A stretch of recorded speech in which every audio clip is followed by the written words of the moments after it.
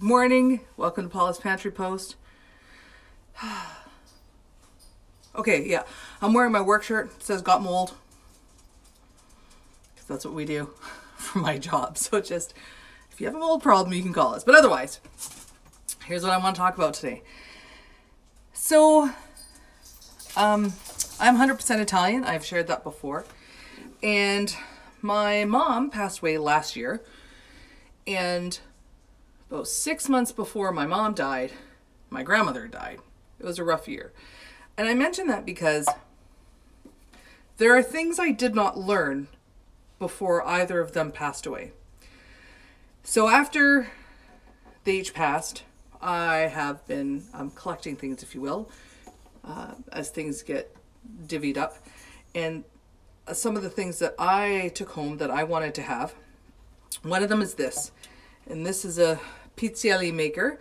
Pizzelle are a, well, they're not just an Italian cookie. Woo! Don't get your hand stuck in there.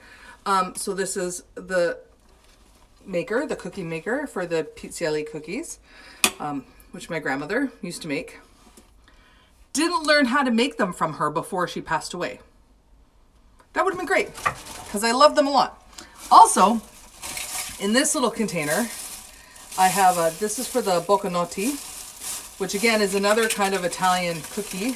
They're filled with jam. And they're these little, I, I have all the forms for them. And these are all the different shaped forms um, that you, you use to make the cookies and then you fill them with jam. But I don't know how to do that because I never learned.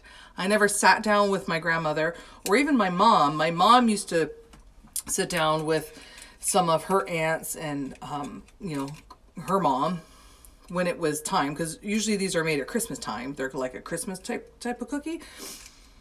But I never learned. And here's what I want to share with you this morning. Take the time to sit down with the people in your life that know how to do things before they're gone. Whether it is cooking, how to make cookies, how to make bread.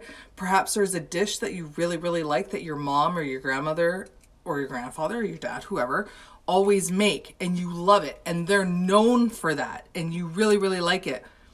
Take the time to learn how. Perhaps, like in our family, there's like certain meats, cured meats, like soppressata and uh, even cow's tongue. There's this cow's tongue, it's really, really good. Uh, fajoy. I never learned how to make fajoy before my mom passed.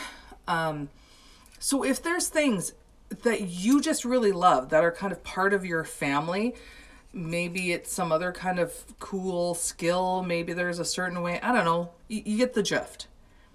Take the time, make the effort, go visit those people, take a weekend, invite those people to your house. I mean, maybe now it's a little bit hard with COVID, so you have to kind of wait until that's done, but make the plan now.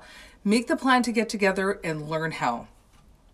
Even if you're not good at it at first, at least sit down, write out the instructions, learn how, so that you have a place to start. So that once they're gone one day, you can still have those things that you enjoy. Because now I have to figure out how to do this stuff on my own.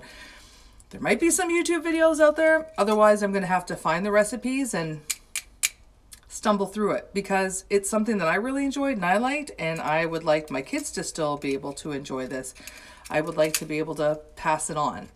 Some of the things that my mom made and cooked, I did learn before she passed away so that I can still do them. They don't taste exactly the same as hers, but they're pretty close. So take the time, learn from the generation above you.